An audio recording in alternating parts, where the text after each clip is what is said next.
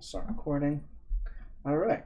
So now these now when you're making your underwater city, you don't have to uh, use this isometric board that I made. That's okay. Underwater scenes vary. You know, maybe you don't want uh, to have a black background and the board there. You want the whole ground to be there. So it's perfectly okay if you want to use uh, a different a different format or a different uh, technique. But this is just how I do underwater scenes, and I'm doing it on an isometric board because it's just quicker, and I don't want to keep you all here for like eight hours. So a very small isometric board, we can quickly just populate that and put on the terrain, populate it with buildings, and then we apply the filter, the water parts, and that'll be near the end. So first, if you do have, uh, if you have this up on your own Inkarnate screen, then feel free to follow along with this. If not, just divine in through with the, uh, the techniques on how to do it. First, I'm going to explain what the template is so you understand it.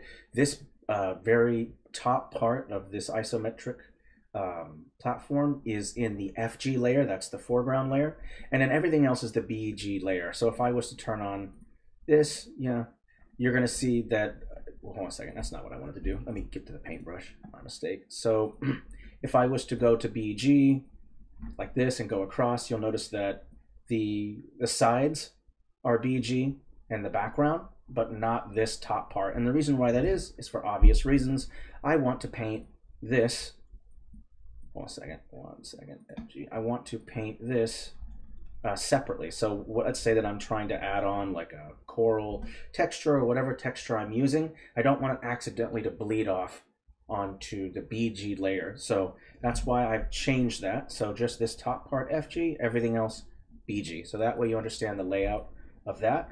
And as always, the first step whenever you're making a scene is of course to make the landscape. So our first goal will be to try to create maybe a series of underwater mountain ridges and um, it's the same principles, at least the way I do it, as uh, mountains that are on land. Obviously, the mechanics are might be a bit, bit, different in reality, but if you understand the basics about putting a mountain down on land, then this this won't be too difficult to make mountains underwater. Okay, so you just jump to your catalog, open up. Let me turn off my custom assets, and I'm just going to use the mountains large, and I'm going to make sure. Hold a second that they're on, a, remember what layer they're on. I'm going to place one. You can look in that right panel. These are on layer one. That's fine.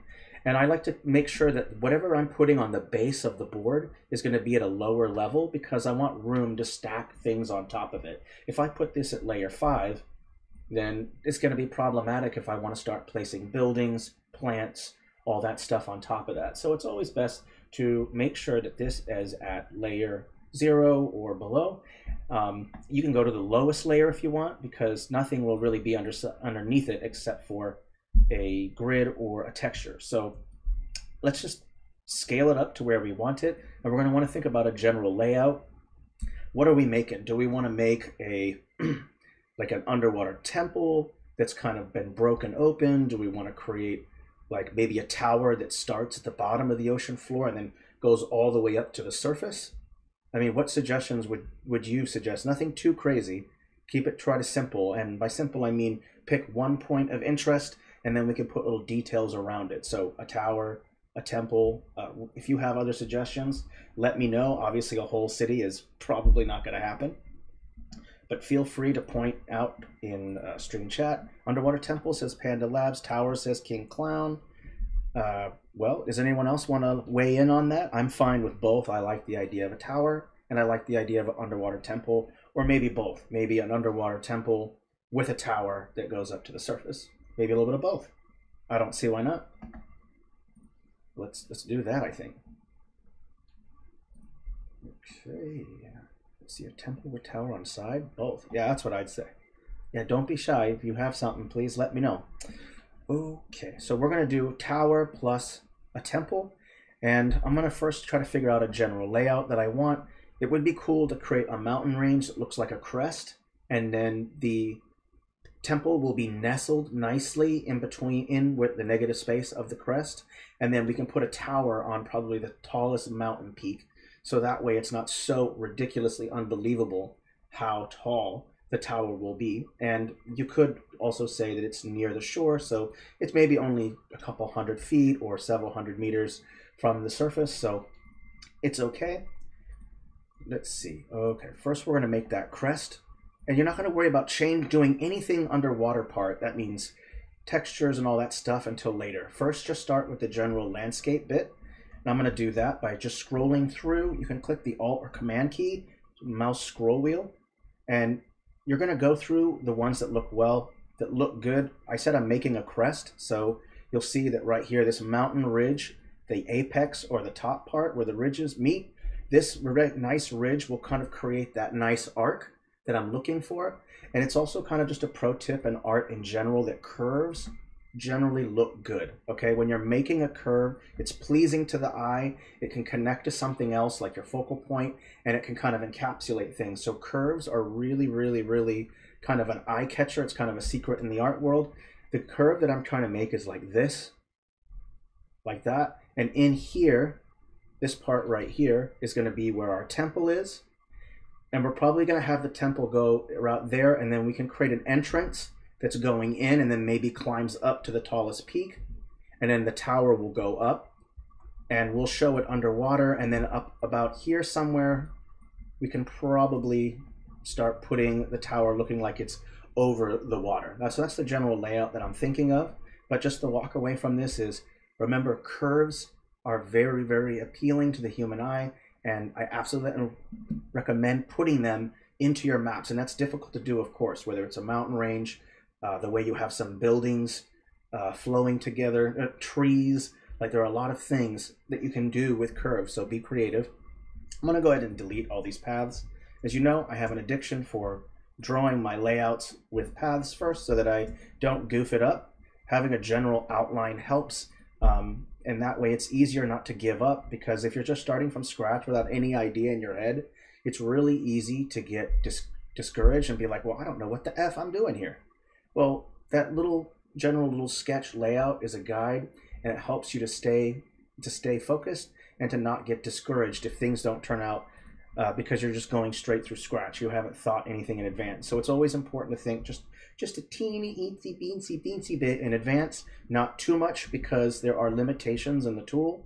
Obviously, if you're making something and you want this outrageous image that you would expect to be made in Photoshop, uh, then you know go to Photoshop because Inkarnate does have limitations with the tool, like all tools.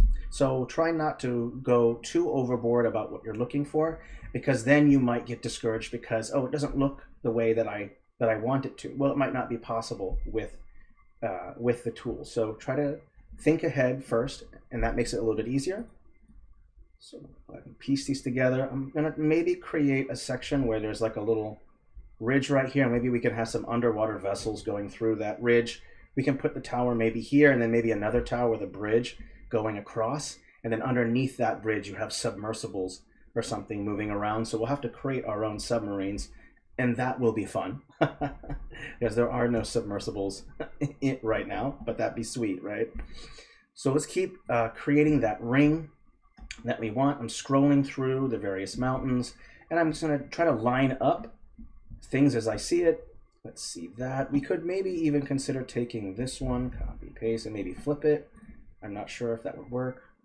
Yeah, maybe make it a little bit smaller because I don't want these two to be the exact same size. Otherwise, there's a sense of symmetry there. You'll, you'll kind of see the symmetry there. But if you just drop the size of it just a little bit like this, then it doesn't necessarily have that same symmetry. Or you can put another um, stamp in front to kind of break up the last bit so it doesn't have that weird symmetry to it. So if you want, you can put some stamp right here like this, and that will break up that, that symmetry. And I'm also going to select all of these. And I don't want to make sure that none of the line work or texturing bleeds off of the board. Okay, you see how there's some bleeding off to the board? Don't do that. Center it in a way where it's going to be where all that line work is staying on the top of the isometric board. now, when you select everything, you can also change the transform so when you have a bunch selected, you can transform like this, or you can transform like this. Just know that the more that you skew, the more that you try to change or transform something, the more awkward it's going to look. Just a quick example. So if I place this stamp here, like this, and I try to make it look like a really tall mountain, you are skewing quite a bit of it. And that can work for you, and sometimes it doesn't. Just be careful. Like it depends what the stamps are. So always be mindful how far you're going to go with skewing or transforming a stamp so it doesn't look too crazy or ridiculous. Okay.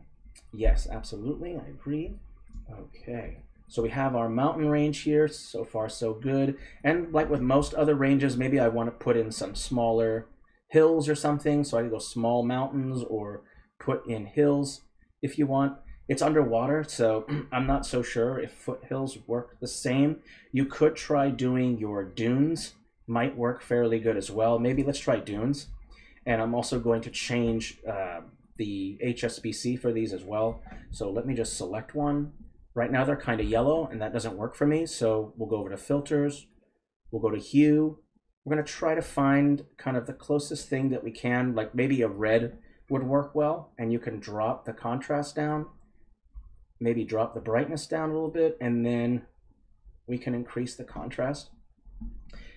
So let me do that real quick and just see how it looks first. And it's okay if it doesn't turn out okay because there are tons of other tricks that you can do. Let's maybe set up a, a texture for the ground. Let's just do that. Let's look at what options we have and pick one. Let's see here. Uh, I think this parchment brown dark might look okay. Make sure it's set to the FG one key, two key for BG. Drop softness down, just go across like this. And for now, this brown will work just fine. And then you can just go ahead and take the stamp, select, or I'm not select, but uh, let me see, over here, sorry. Left panel, click luminosity, and then you can drop the brightness down like this. And this might not look good, and that's okay, because we're still gonna do all kinds of other things too to make it look more underwater. But for right now, just so it's kind of pleasing to the eye, we don't have this standing out bright yellow against this brown. The underwater part comes a little bit later. So let's just add in a couple dunes and see if maybe these might work okay. I'm not so sure. What we could consider doing also is putting in our structure so that we can maybe mold the landscape a little bit around it. I think there are a couple ruins. Let me type in ruin. Yeah, there's a couple here. There's this desert ruin right here. This could work and there's a whole bunch of other ruins together and we can maybe piece ruins together to make a larger one as well. Now i'm going to take a guess that this underground one is going to be kind of dilapidated and falling apart. So i'm not going to try to create a full on like fully functioning temple it's a really old temple it's dilapidated as you would expect from things underwater salt is incredibly corrosive and it doesn't really help doesn't really help. So let's put in a couple first. We'll see where how it goes. I know some of these are a different angle. Let me put the piece a couple together like this. And let me just create the main body first. And then from there, we can put a series of cliffs to kind of create a series of ridges. Because I've seen what a lot of underwater pictures look like. And there's clearly plate tectonics going on. Uh, I think it's called conduction. I can't remember the term where the plates slide over each other, and this causes mountains to go up. It includes underwater. Um, and then there's also uh, hot magma, which comes out of the earth and um, obviously hardens as it comes with cool water, like underwater. It's going to cool real quickly. And obviously, this process is extremely violent because when oxygen comes into contact with a heck of a lot of pressure, uh, it that hot and that cool water becomes steam and it's very explosive. And you kind of create these really interesting underwater kind of scenes. Let me try to fix that. I didn't mean to delete that. Let me just hug it up against here like this and then we'll create some ridges maybe. First we'll go check out cliffs and sometimes in a scene you don't always have to make the landscape first. Sometimes you want to place a human or a man-made or a not nat or non-natural structure so that way that you can kind of better mold how you want the landscape to be. Because sometimes I'll be making a landscape and it didn't turn out kind of the way I hoped as soon as I put down the structure and I got kind of frustrated. So I added the main body of the structure first and then I can start kind of working around it with stamps so it's not always the best to to just um, do landscape first and then totally forget about uh, uh, where the structures are because they are working kind of together. Let me just go through some stamps and see what options we have. I'm going to create a series of ridges that kind of connect uh, with the, the line work of the mountains. So whenever I put cliffs down anywhere, especially up with my mountains, is I try to line up the line work so that that way it kind of creates this continuity. So like I've connected this stamp up here at the top with that line of the mountain like this. And then I want to do the same thing everywhere. Find the stamp that works best, set it up, and put it on it. So let me go over a couple first. Let me see where is the one I was thinking of. This one right here should do good. I think, no, this one. Like this. And then we'll come in and use some other stamps as well. Let's see here. We can put one right here. And we're going to go through all our options. This part is a little time consuming, but you know, it's worth it to kind of create the scene that you want. You know, scenes are not, uh, and from my experience with, with DMing, GMing is that scenes are kind of more like setting the mood for your campaign. If you're doing it for D&D, if you're doing it just for art, that's okay too. Nothing wrong with that. I use the tool quite often for just art. Um, but for your like a D&D campaign, usually I make scenes as just kind of a to set a scene for like a campaign, to set a scene for a place. It's kind of a nice visual guide for your players and also uh, if you're not interested in just theater of mind. And there's nothing wrong with theater of mind. Uh, if you prefer that, you know, don't worry about making scenes. It's okay. But sometimes, you know, you want to, you know, set an interesting scene in your campaign. And one of the ways to do that is pretty simple. What? Why can I not select this? Oopsie. That looks like an error of some kind. Whoopsie. What happened here? Uh-oh. Weird. I'm to have to save real quick. One moment. That's okay, DN Key Donuts, if you can't stay for too long. Yeah, good idea. I'm to save first, and then I'm to refresh. Great idea. Thank you, King. All right.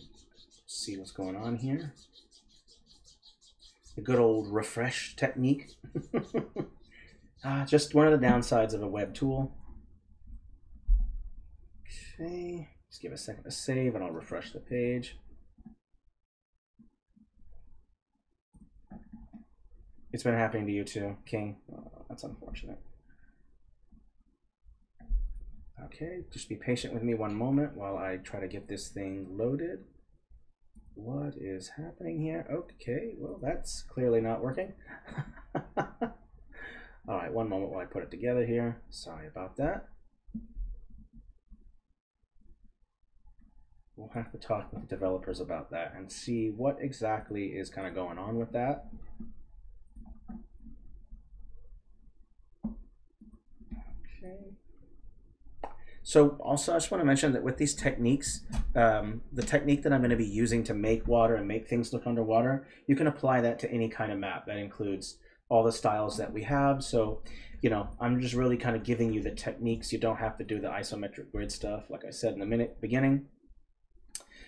Uh, let's. So where was I? I was talking about scenes, and you know, again, just the theater of mind thing. If you uh, prefer uh, to with the visuals over theater of mind, it's all a matter of personal preference.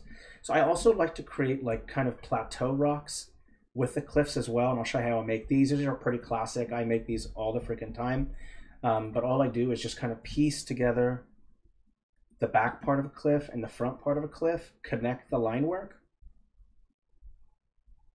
And I might have to rotate just a little bit like this and then just group these together.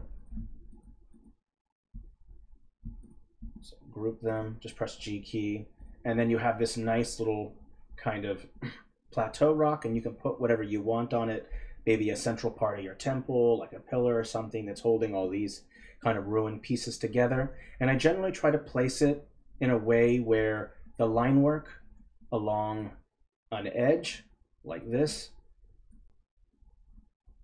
oopsie, let's do this one instead. The line work along the ledge also lines up with the line work around that edge. So I look for things that kind of match and go well together because you're kind of creating this idea of this plateau rock, maybe the rock that connected it to these cliffs eroded away. Limestone, for instance, is whittled away much quicker than, let's say, granite.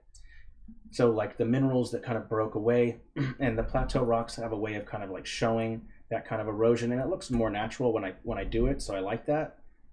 So you can also co copy paste, change the size, put them wherever you want. And I do that quite often. So I'll just put one maybe right here, copy, paste, and just click and open it, select both, and then flip like this. And then you have basically another version of it. So you might have to rotate things a little bit. That's just the way it is when it comes to flipping and rotating things. Let me bring this down and put maybe a smaller one right here or over here. Let me see. I think over here looks okay. Like that. So now you have some nice plateau rocks that gives nice locations to put uh, structures and yet it still has a natural feel to it. Let's move it over to here. There we go. That looks good. And then that way you can maybe place, uh, you know, one of your ruin stamps on top of here like this if you want, another one on top of here, or somewhere else. It's up to you. Like this. Let me move it over. Go like this. We can even create a bridge that goes across. There's lots and lots and lots of options. Hey, hey Laura, welcome. Glad you're here. Awesome. So whatever way you want to do, I might not go with uh, these ruins. It might be more fun to create you know an actual civilization of some kind maybe a village or a submarine port i thought maybe ruins would be good ruin but actually now i'm thinking it might be more fun if it's if it's an active kind of place and hasn't been lost to uh, to time maybe that will be more fun if you have any arguments with that just slap my hand in this in voice chat or in stream chat one just like naughty naughty bad why'd you do that stay on course Okay, saving might go slow. Okay, sweet. Yeah, I'm I'm kind of digging this so far. It looks good.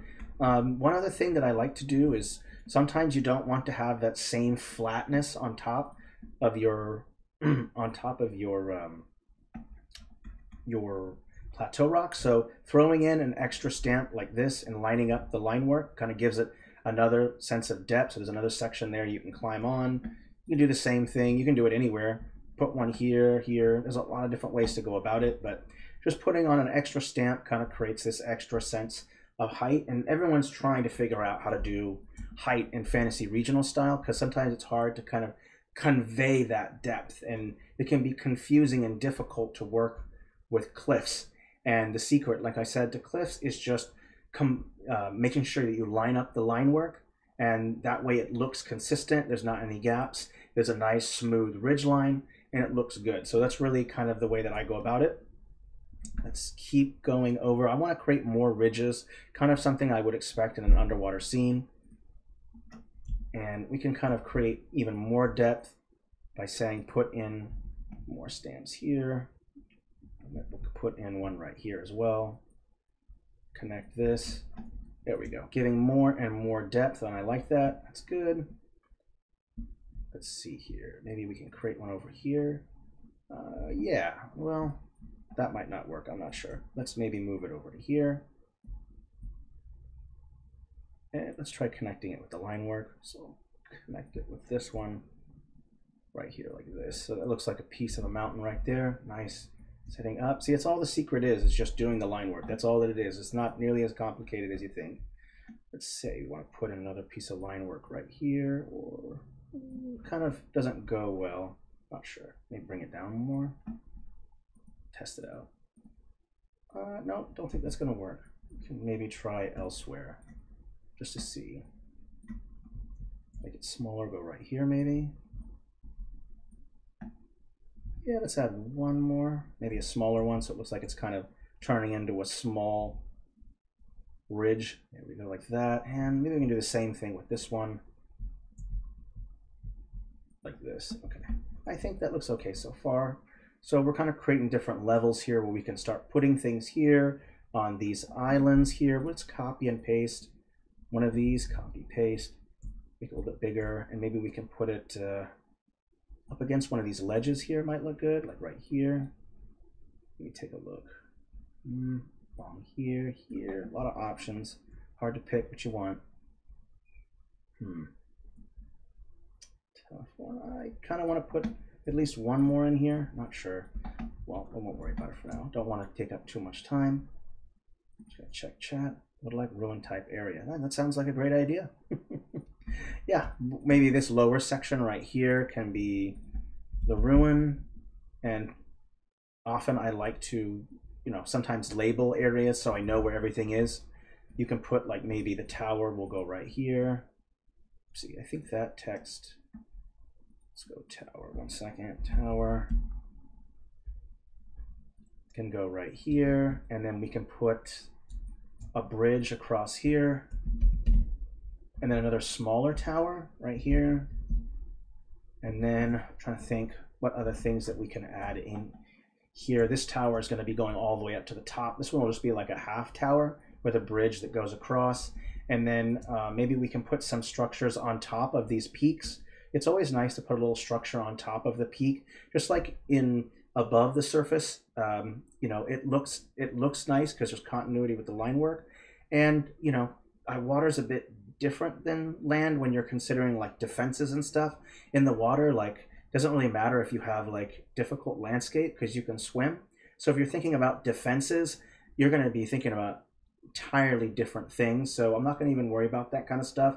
Maybe there's like a tower with like an orb on it that shoots like I don't know some kind of like uh, sonic like sonic and like a watt sound or because sound travels faster underwater so maybe some kind of sound weapon we can mount on one of the towers to blow up enemy ships you know i think that'd be that'd be kind of cool right because everything's underwater this whole thing's underwater this is not the top this is not the surface at all but we will be putting stuff above the surface once we get water set up yeah, well, I'm not going to make it a big city because that's going to take forever. So it will probably just be like maybe the district of a city. See, it is in an isometric format, so it's already kind of primed for that. So you could just say that this is like one section, one section of the underwater city where uh, uh, the submarines go and they do through customs checks, and you've got that nice tower with that sonic weapon and that blows up ships, which I'm really excited to to make. I'm thinking maybe we should have that sonic weapon like firing at a ship somewhere and it blows it up. That'd be cool. Even though there are no explosions underwater, I guess, in that way without oxygen, but I guess we'll see. We'll, we'll have fun with it. So we'll have that bridge and we'll put some spots too where I want to put some stuff like a structure here, here. Uh, let's start adding in our structures right now. So let's go ahead and put in a tower. So the first tower is going to go all the way to the top. And if you use kind of like these kind of towers like this, where they're not really, it's not really can be stacked on top of each other, it might not look right. So you might have to go with a tower that maybe might be a little bit more, I guess, modular, I, I guess would be a good way to put it. Let me look at the tower option. So this stone tower right here, like you can stack these on top of each other and I, I do realize that there is baked in shadows and we, we will address that of course. But you know this might work fairly well right here like this. Just stack these towers on top of each other like this and we will address that uh, that shadow right there. Not quite yet but let's just maybe build the tower as it goes up like this and then if you want you can add maybe a different tower at the top because this is just maybe maybe the foundation part of the tower. This is just the structure structural part. And if you find yourself running out of room for groups, like right here, this is at layer four, I only have room for one more uh, stamp on top of that, right? So the way to fix that, to give yourself more layers, is just group it. And now it's at layer two. That whole construction is at layer two. And now you still have three, four, and five other layers to put on top of that tower. So it's kind of a neat little pro pro tip that if you group things, it will put everything on that layer, and that way you have room to put more things on top. Okay, I hope that helps. Yeah, I like the sonic weapon idea too. Boom! so, yeah, this is at layer two, and we can put more things on top of it, whether it's that same kind of stamp that we want to put on top. See if you put layer two, layer three on top. I'm to make it extra long, extra tall, and then maybe we can put something else on top of it, like an elven tower. Maybe change the color of it. Uh, let's see how it stacks on top first to see what it looks like. And since we've got all this gray here, maybe we can just take the filter and drop the saturation and then drop that brightness down. And then we can maybe do the same with these towers. So just drop the saturation down and same thing with this one. Drop the saturation all the way down. And now maybe these will kind of blend in better. So you have that top tower. We can even add one more. I'm not sure how tall the water will be. We'll go over that and check. I think that should be tall enough. That's quite tall, as those mountains would be ridiculously tall. Completely unrealistic structure, but you get the idea. And again, if you feel like you're running out of layers, just group the whole thing. You're, it's on layer two again, and now you have room to put light stamps or whatever it is that you want to put on there, okay?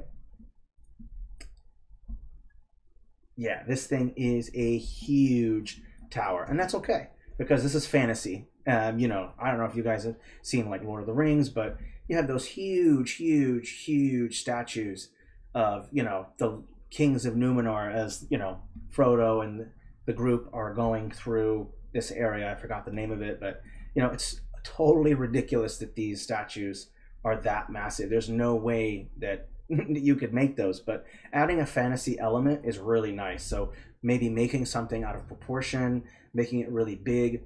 Uh, sometimes that is really helpful. Like focusing on the reality part can make your map less fantasy, and then you kind of rob yourself of interesting elements that might draw people to your map. So adding some fantastical element to the more realistic elements of your map makes it pop out even more. This tower is massive, right? And it it's not obviously not realistic, but it makes it fantastical. It makes it, you know, interesting and unique and it pops out, right? And that's a good thing. You want you want to do that. Okay, so now we've added that main tower there, and I'm just going to name it that too. I try to remember to to label your your groups uh, because as the more groups that you have, uh, the harder it is to, to be able to find which group you're looking for. So kind of just labeling them kind of helps. So I'm also going to name this one uh, Plateau Rocks or P Rocks because I don't want to embarrass myself and show how I don't know how to spell plateau properly. Even though I probably do know how to spell it, but why, why risk it, right? There we go. Okay I think most of my groups have been labeled lines, tall tower. Yep, that's good. So the next part is to kind of create that bridge that goes across on top of another tower right here. I don't see any reason why we can't just use the same kind of stamp that we used right here and just put it on top like this. Or you can uh, go with the straightaway view if you want, if you want to change the angle so it's more interesting. So if you go straight away like this, let's make sure that it's down a layer as well. So layer two, copy paste, put it up top like that.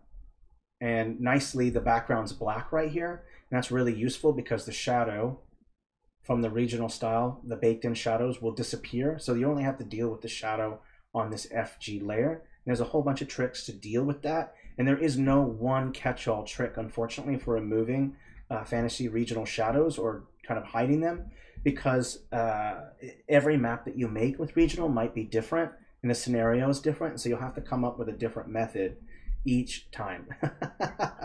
we know you can't spell plateau. I can actually, but it, it sounded funny. so now I'm going to add a bridge. I know someone's going to respond, likely story, Mati.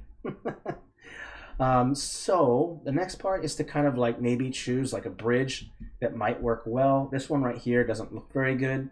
We can look at other options. Let me expand all and kind of just look at the options that we have. Some might not work better than others. There's this kind of eastern bridge right here that I kind of like.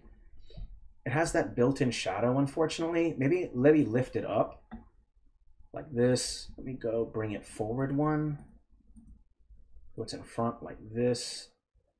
And then I'll put this one in front of this. So let's go like that.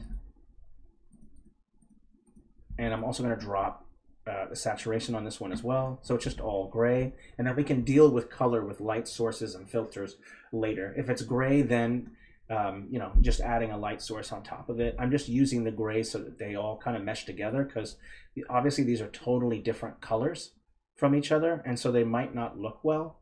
And so I just drop the saturation for now so that they all match together and then deal with color a little bit later that strategy might not work for you. I know there are masters of the fantasy regional style, like Brian Marshall, who doesn't do any of that stuff. Amazingly enough, it's just he's able to use all the various colors from the stamps, and they just look freaking incredible. And I, I don't know how they do it. it. It's it's godly. I can't explain it. It's beyond my mortal understanding. Okay, and we can go with a different wall tower top too. And again, just make sure to drop, change the saturation. Oopsie, this one needs to go down. It's way above. Put that on top and we'll drop that saturation. There we go.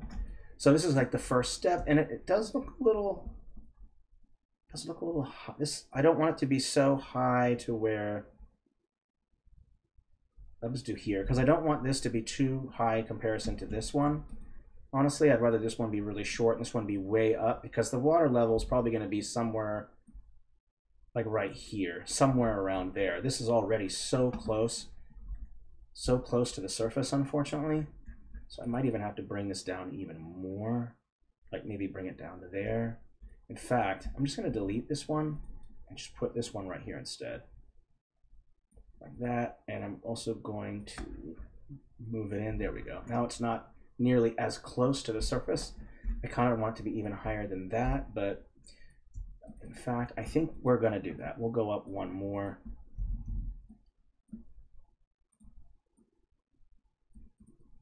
Oopsie, that's not going to work. Let's just copy paste that. Oopsie, not that one, the Elven one. Where'd you go? There we go. I have to do it over again. My bad. There we go. A little bit higher up. That way we have a little bit of a higher water line. So let's bring it up to maybe here. This is kind of where I want the water line to be is right about here.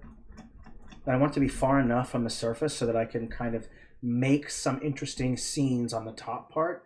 Uh, the closer your water line is to the base, that means you have less room. So make sure it's pretty high um, so that if you want to show things on the surface that you can. Don't put your water level low, put your water high up. So that way you can draw or make, piece together the scene that you want that's going to be on the top of the water, okay? So keep that part in mind.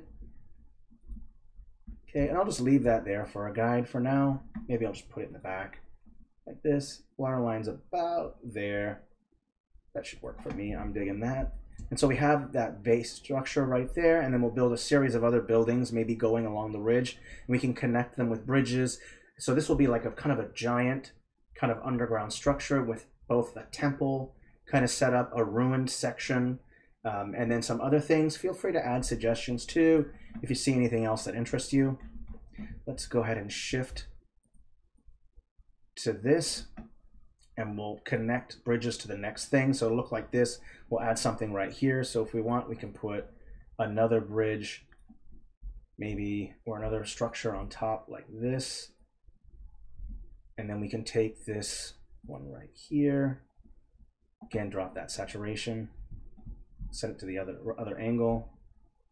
And that should go right on top. One second. There we go. And so you have a series of bridges already kind of connecting. Already has that kind of dark tower vibe or dark citadel kind of vibe to it. Um, but don't worry, we're going to be adding color into it so it doesn't look all dark and dreary like the gray that it is currently. Okay, and then we can even add probably one more, one more bridge maybe, a smaller one right here, connecting to another peak right here I think might look good. Let's try that.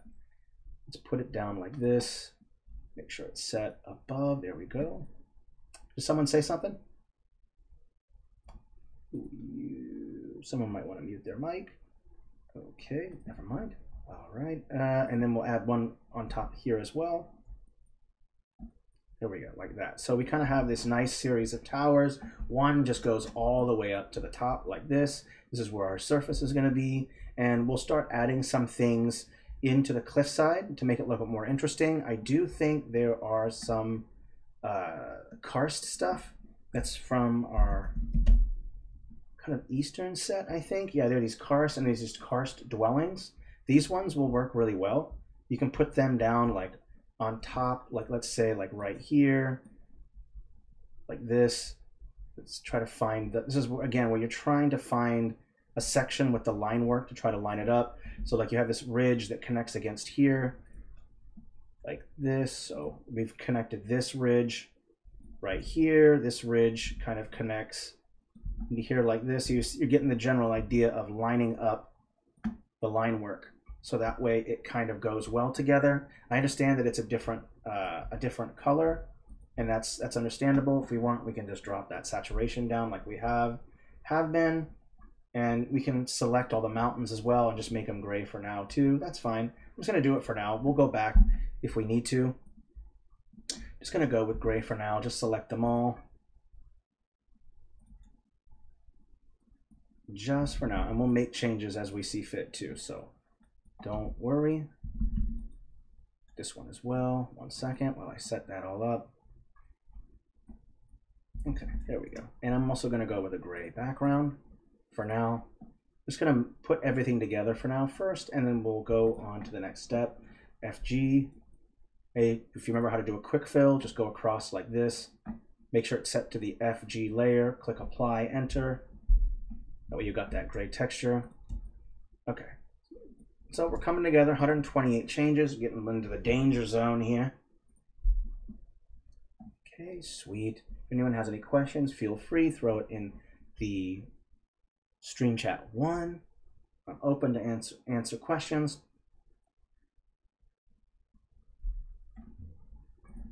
Okay, we're saving and we're going to continue adding in more pieces to kind of bolster the scene that we want and we'll put a bunch of structures underwater as well other buildings like this nice one right here looks good i'm okay with that. You could even see if it looked good you know in general like does it look good maybe higher up on the tower? Does it look okay like that? You know there's all kinds of ways you can go about it. I think i saw some other things as well like a large one right here. Excuse me a large karst dwelling so you could maybe put one like right here. And I'm putting them also at the base of the towers too to kind of hide the line work because these don't mesh well together. And I can show you, show you a quick trick on how to fix that as well. When you're putting like a tower on top of something and then it just doesn't kind of look right because of that line work and you want to nestle it in more, take that same mountain range that you used, only a smaller version, drop the saturation down. And if you make sure that it's set a layer above the tower and you can just place a mountain stamp let me get it, make sure it's set to the right layer like this. And you can, strate- you know, uh, kind of set it up strategically where you want it to be, line up the line work, and then you're kind of hiding some of the line work. And that's really helpful. We can do it to other things as well. So maybe we want to put one right here like this. Let me make sure it's set to the right layer. There you go. And again, just make sure the mountains are, uh, just make sure the line work is set up. And so that way you're kind of hiding uh, how the straight lines here, and it looks like like some of it was built into kind of the mountain a little bit, so it makes it look a little bit more realistic, and I like that. And I'm gonna put another one right over here too. Do something I didn't use, so right there. Make sure the line work looks good. Yeah, it's okay. And I always do this when I put like a tower or something on top of a mountain. Use those smaller ones to kind of again uh, make it look like it's built into the mountain. And again, make sure you line up that line work Again, you see right here, the line work here, line work here, all that lines up so that it looks like there's some continuity in the line work. That always helps. Colorblind map, no color. That's right, F your color, no color. Don't worry, we'll put color in there. That's gonna happen. Let's just keep going. I don't need to put that one there. I'm actually gonna use this instead. That might not work. Let me flip it real quick and maybe we can put it over here. This one we can delete, put it along here. Maybe. This part is kind of hard. What about, ooh, let's, let's see if I can fit it into this ledge right here. Yeah, that looks okay. The line work is not too bad. Cool, we have some nice parts here. I can probably put that back there. That's going to be okay. I think there's one more. Is there another karst one? Let me check. Uh, yeah, there's this karst dwelling right here, and this might work as well. Drop that saturation down. And we're, we're going to change things a lot. Change color. We're going to do all this stuff. Let's see if this looks good up against this ridge right here. Not so sure yet. Mm. This is always, I feel like, some of the hardest part. It's just trying to line this up right. I think that looks pretty good. That looks pretty good. Okay with that. We could even maybe flip this one around and put that uh, maybe up against this ridge right here. Let me see where I can fit it, where it might look good. Mm. That looks okay like that. There we go. Okay. All right. I'm going colorless. How could I? So bad. We can select all of it and then just fix it. uh, well, it's just like me to go backtracking. yes, rotating regional stamps is an absolute nightmare. It is. It's true. It's uh, kind of a pain in the rear. That, that's a fact. Okay, let's take a look at what we got so far. And we could uh, think about adding some filters to it. Right now, I'll kind of throw in uh, right now kind of a winter one right here. This is just just to get us started. So we have some nice blue, and what we could do is make it to where uh, everything that's underwater is going to have gray with a blue tint to it because it's going to be underwater, and you're going to have there's less oxygen in the water, and so it's going to distort um, what things look like for you because again, this human eye relies on a lot of oxygen to cause focus. If you want to focus something underwater, you have to wear goggles, obviously, where there's a little layer of oxygen so that you can see underwater because our eyes aren't built for that. Okay, let's see where we're at here. Yeah, that filter's going to work fine. And then once we get the water part, we can desaturate some of the top parts. And then that way your eye will be in focus. You'll see the full color and there won't be any kind of a blue uh, filter going over uh, this kind of gray area. So that's what we're going to end up doing. Let's keep building onto here and then we'll move on to the next part. So someone said they wanted ruins and you know, I like that idea. So we'll pick a section for ruins. Let's go back to the elf stuff. That's the, the stuff that we've decided to use. Like we used that elf tower. So for some continuity, um, let me do this real quick. Oops. Uh-oh. Taking a little while to load there. Sorry about that. Slow. Sonic weapon. Okay, let me turn off the filter real quick because I think it is causing a little bit of lag and I don't want to do that. That's, that's annoying me, so don't do that. Okay. Come on. So slow. Loading so slow. One second here. No, what? Oh, no, don't look at that. Don't look at that. okay, let me type in L E L. See if I can find elf. There we go. Okay. So I'm to use these. Uh, I like these a lot. I think these buildings will look kind of good. Yeah, they're different from these kind of uh, Eastern set. I know it's a bit different, but since we're kind of using this, the elf set already for the top of this tower, maybe we can do the same uh, for the underwater bits. Underwater bits. you didn't see anything. Do as I do the wax on, wax off hands. You didn't see anything. Jedi mind tricks. Yeah, exactly.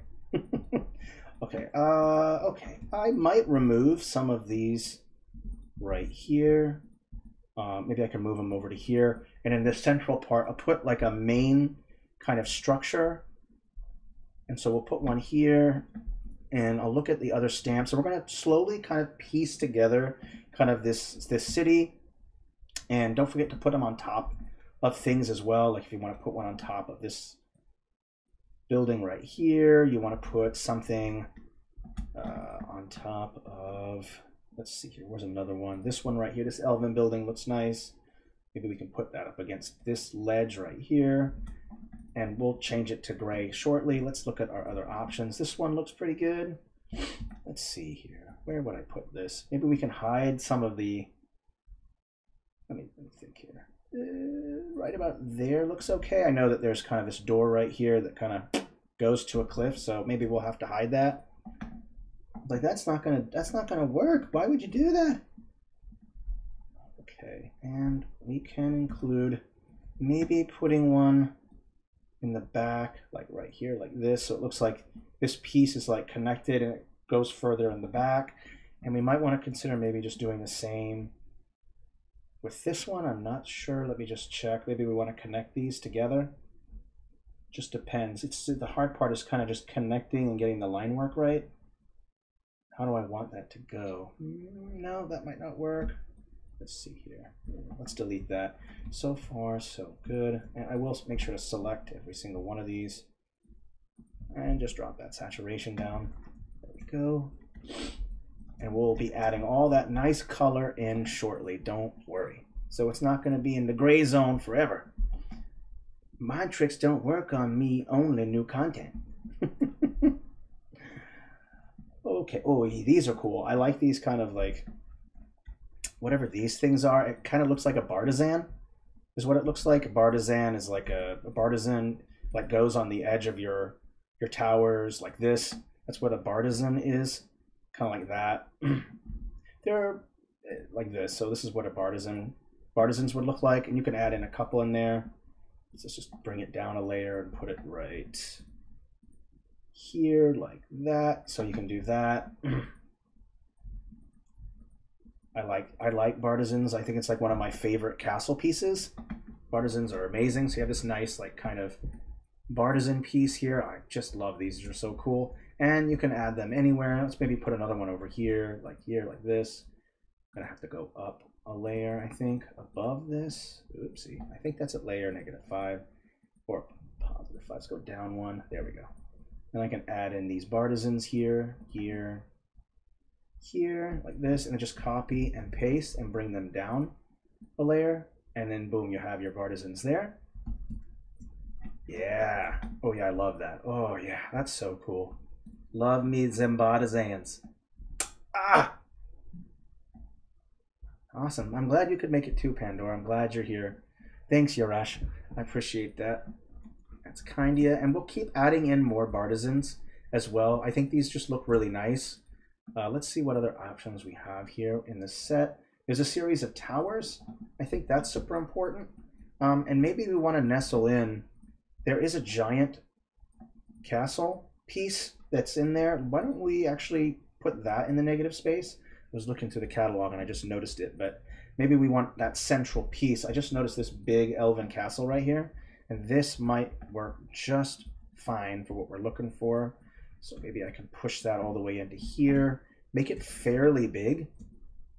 I think it's going to be pretty big. Let me check, and I might want to consider removing some of these cliffs so I can nestle it in without those cliffs getting in the way. Let's go up even bigger. This is going to be just massive. Nestle it in right there. I think that looks pretty good. That's okay. And then we can kind of fit this piece in as well to make it match. Put in this piece right here. Let's put it right here. See how it looks. Yeah, that looks okay. And then we want to maybe put another one over here. Let's put it small so it kind of fits on this piece right here nice and neatly. And then maybe this one can be kind of the main entrance part. And I'll try to connect the base of these together. So this is kind of that main entrance piece. You walk right in right there. There's other entrance part right here. So we got that kind of set up. Let me take a step back.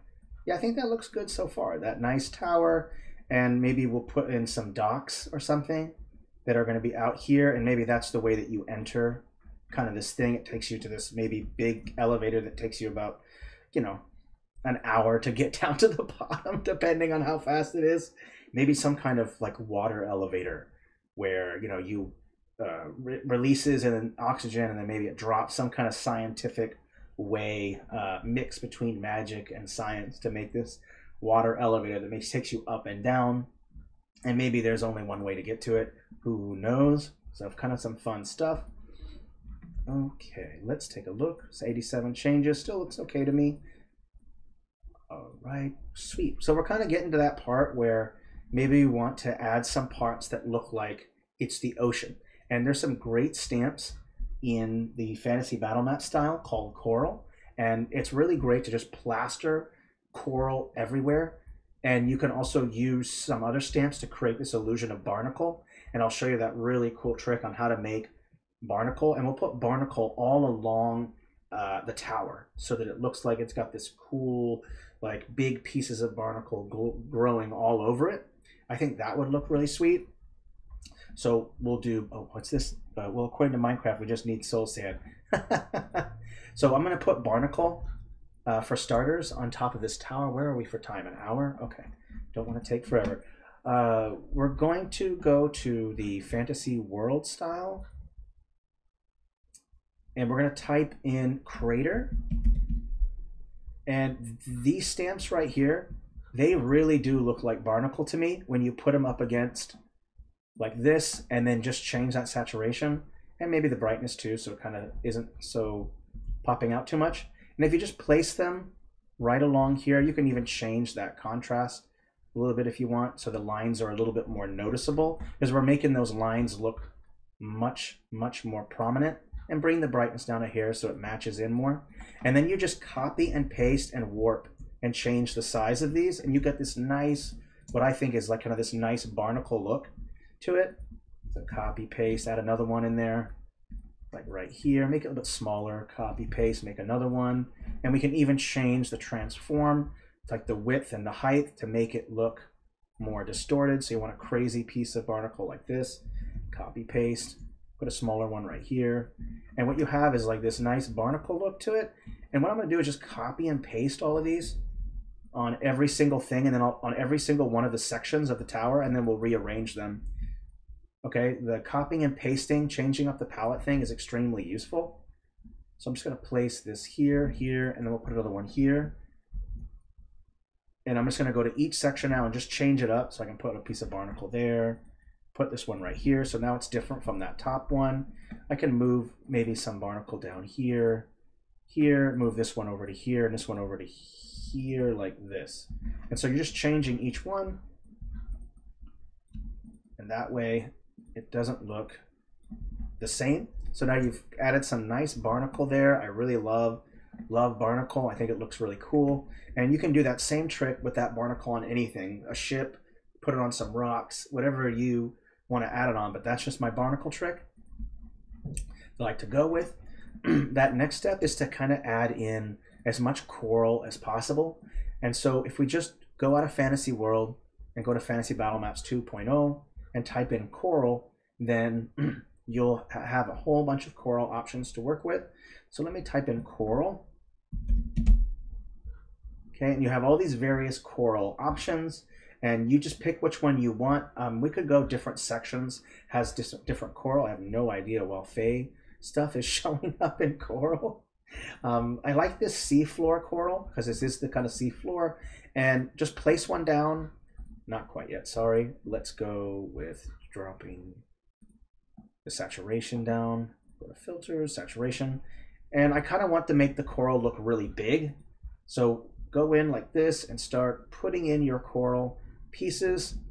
There's only two to work with on, in this particular stamp, so you have to be like original and resize things, rotate them as you go. So it's going to be some custom work if you want like this coral to work right. So just kind of keep that in mind. I'll make this a little bit bigger like this. And I'll also be doing shadow work as well. So make sure some of them kind of overlap each other because it's coral. There's a lot of it. Coral is basically like the forest of the seafloor. That is where like a lot of nutrients, food comes from, just like in a forest, the trees root system supports life for all life in the forest basically because it works with fungus and it also uh, provides nutrients to other trees and plants that might be dying. The forest is the trees are kind of like shepherds of the forest, just like a coral in a fantasy sense is like the shepherd of the sea. It takes care of uh, a lot of the it dictates a lot of the uh, what the happenings and the food sources the temperature of the ocean, a lot of things. So coral is really important and definitely add it in your underwater scenes. and have it even grow up on maybe some of the towers like this. It goes up to the tower. Maybe even put one up here, higher up, like this. So put that coral kind of everywhere and use it also to hide things. So I'm going to hide a lot of the line work here as well. So if you don't want that to be showing, just hide it. Put some coral work here. Hello, welcome everybody. Okay, uh, that looks good. So this section looks pretty good to me so far. Let me just keep maybe hiding in some line work. And let me go with something really small. So I already have like large coral. Let's just put in some random small ones like this so that I kind of break up that quote unquote monotonous size issue I like to call it. I don't know what you would call it in real life. This here, here. So you got this nice coral growing up into there. Nice. And then you can select all of them like that. Go to your shadows. I'm just to go with zero, zero. And the way to show these look like there's some more depth to them, you can uh, just drop the shadow a little bit below like this. And already a little bit that shadow, the shadow underneath will start to, oh, oopsie, the shadow's above, my mistake. Let me go back. My, my bad, go down, my bad. Like this. And we're gonna make sure it's just a little bit, not too much. And what this kind of does is it kind of makes it pop out more. It looks like it's not just a uh, just a flat stamp. That shadow below helps to make it pop out by using contrast. So you have this nice coral section right here, and you want to show like a path of growth, like where it's kind of growing and everything. And I'm going to copy and paste just a couple more small ones up here. So just a couple little bit more smaller ones to kind of make it look more realistic.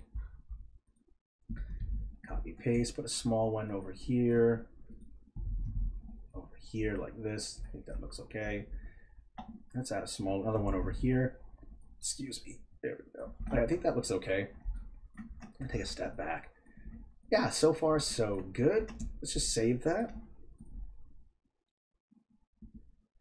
Whew, 338 changes. Ooh, that's, you know, that's not as dangerous as you think.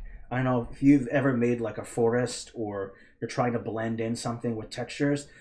I swear, if you make a forest, you're at like a thousand changes within just a couple of seconds because you're trying to make this huge forest. I think for me, I had like a thousand plus changes, and it was just in a couple of minutes too because I was making a forest. You know, um, you know, especially if you have that density brush and you're making these giant swaths of forests, then yeah, absolutely, you're going to get into like thousands of changes in just a couple strokes.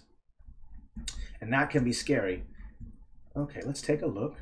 All right, so far so good. I'm going to also take uh, another elven tower. We type in elf, L, E, oh, come on, E, L, there we go. A little slow, but it's working. Oopsie, I'm in the wrong style too. My bad.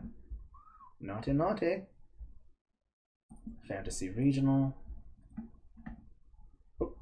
It's just a little slow. I think I saw some towers that might do well uh, to put maybe on the top of some of these things. Like we could maybe scooch this one down quite a bit and then just put this kind of on top. Drop that saturation. So you have kind of this nice peak, and I might want to even drop the brightness down and just copy and paste that and then put that one on top of here as well. Let me make sure that's on the right layer. There we go. So this peak right here is uh, in front of it. So you can see it. Uh, and then, you know what? I think I'll copy and paste these same things, right? This whole arrangement right here and just put it over here. You see the beauty of, of, of copy and pasting. So much easier. Nice. And I'm thinking of even putting uh, some of these up here as well. It might look interesting. Let me delete this one, put this along here, and I think I might make these just a little bit bigger. So let's maybe take them up to 65. And we'll put one right here. Wait a minute, that's the front one. That one I'm gonna do. Put one here like this, and we'll put another one right here and then copy paste and just flip it. And there's the other one right there. So we'll add that there. There we go. So far, so good. All right, yeah, I'm okay with this. Uh, let's also maybe uh, turn the saturation off on or on or off on that ones because we want to use this actually as the point where there's some actual color going on because there's not this distortion from oxygen or from a lack of oxygen that you have underwater. And we'll continue with the barnacle or continue with adding a little bit more uh, coral. So go back to that Fantasy Battle Map 2.0 and then type in coral in that search field and look at your options. I, I do like this kind of coral right here. This looks kind of nice. And it's just the same technique that we did here. Let's add in a couple large ones first. Put a big one here, here. Again, hide some of that line work if you can. That's always a good idea. And that seems like we can bring him down another size and bring it down another size and bring it down another size. And let's have some of it growing up alongside this building as well. There we go. And maybe even some along here. This looks okay to me. Looks okay to me. Okay. And then we're going to select all of them with our little nice select all from the stamp set trick. Drop that saturation down. Go to the object settings, drop the blur down. Let's go to zero, zero, and we'll bring them down. So you can kind of see the shadow a little bit. And also, I think these look a little dark. So I might want to consider maybe just boosting the contrast or the brightness a little bit. It's up to you how you want to go about it. So you have this other kind of coral along here. And if we want, we can also copy and paste them to be kind of going growing up this tower as well. So that way you have that more realistic look to it. Add some small ones in like this. There we go. Just have it kind of climbing up this tower. Oopsie, we got to put it up a layer, my mistake. There we go. And go with a smaller size even smaller still. Kind of have some going along here. There we go. So you have some coral growing up there. So I think so far so good. Let me just take a step back and look at it. Yeah, it's coming together. We'll get we're getting to that underwater part soon. Don't worry. Wow, already 50 minutes. wow. Awesome. I'm okay with it so far. How does it look okay? How does it look so far, everybody? Okay? Do we need? Are we going in the right direction? So far, so good. I need reassurances. I have low self-esteem issues. Actually, that's a very serious issue. That's a very serious issue. That that's a problem. Needs a little color. well, we haven't got to the color part yet. You just have to wait. You're impatient, panda. We get to the color part soon. Patience, my friend, patience. We'll get there. Don't worry. I promise you. No panda, no, no, no panda labs. No color whatsoever. this will be devoid of color. this is gonna. This is a black and white film only. Okay. yeah, don't worry, Panda. We'll put it in there. Panda Labs, we will. I'll get you color in there. Don't you worry there are, are ways of getting color well beyond just using uh, the color from the stamps. There is a lot of ways to go about it. So don't worry, we will get there. I can assure you of that. Okay, so let's get to the water part since some people are getting impatient, I think. so let's turn on the grid real quick. And I'm going to be using the grid as kind of a guide. And I don't know if people know about this yet, but we have added kind of like a segment section I'm not sure if this is an admin or if this is a if this is available of, or not on regular website. So maybe I'm showcasing something I'm not supposed to. I'm not sure. Uh, but we do have this part with segments in it. Not sure if it's been released yet, but I'm going to be using it.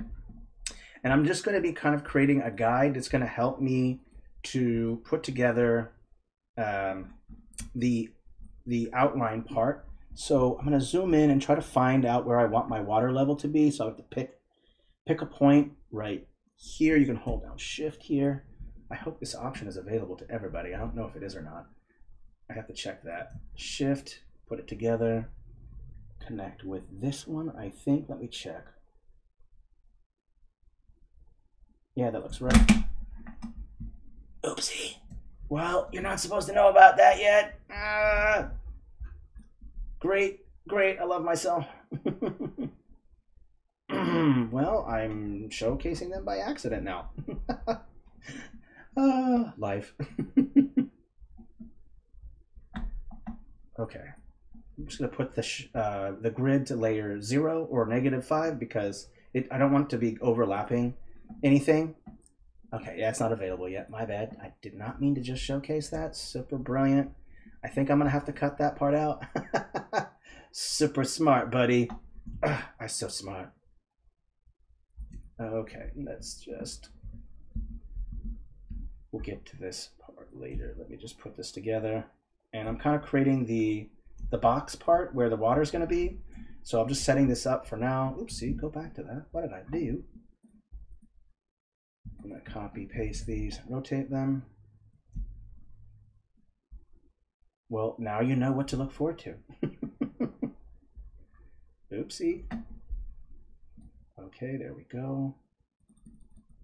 Okay, I'm not keeping that. That's all going to go away. It's just a guide. it's just a guide. Ah, awesome. So glad I just just showed you all that. Uh. Okay, let's also select every single, uh, I'm to select pretty much every single thing that's on here except for those paths maybe, and just group them.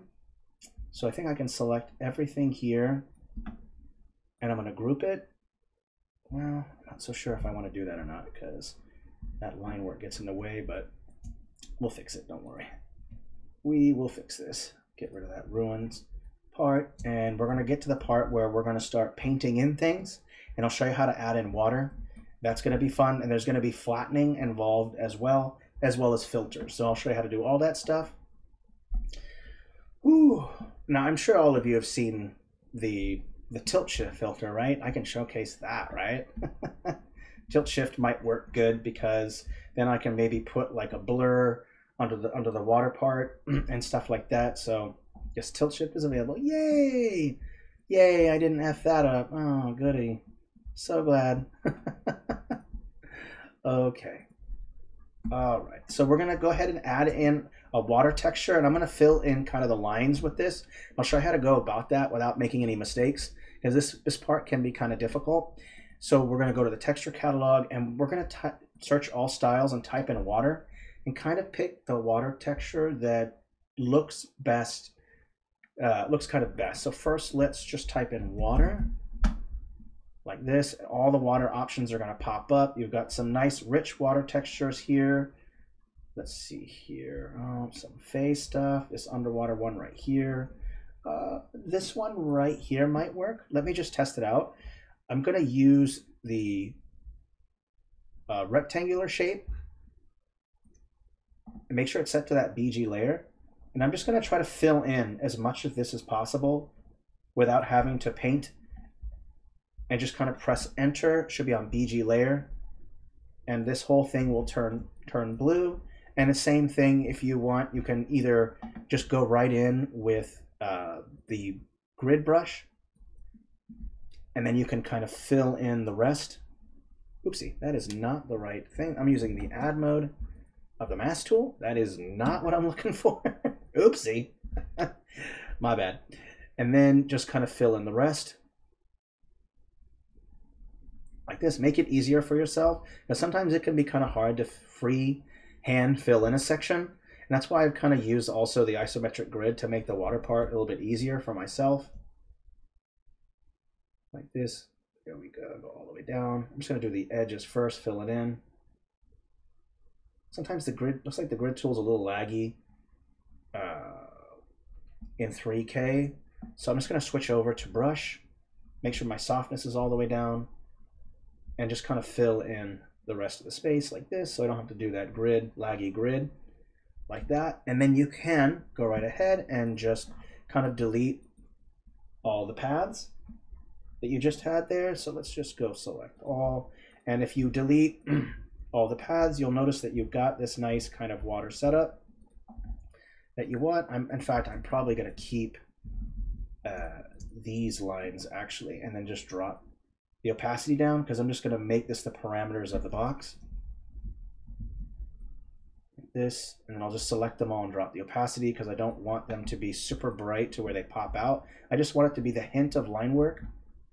So it looks like I'm kind of encasing it. So if I just drop that opacity down a little bit, like this, bring it down, bring it down even more, down, down, down, down, down, down. That looks okay to me, as long as you have enough to actually see the line. Let me just go out.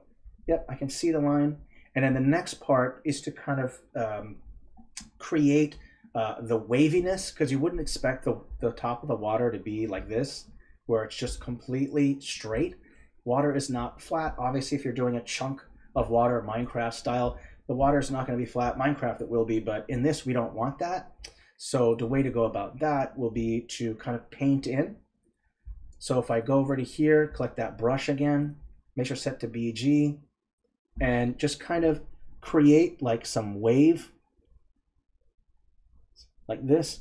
And that way you're kind of getting rid of that flat feeling that you would not expect to be the water's surface to be. We're out in the ocean, and oceans ocean swells can get up to like 20 feet tall, you know, out in the deep ocean.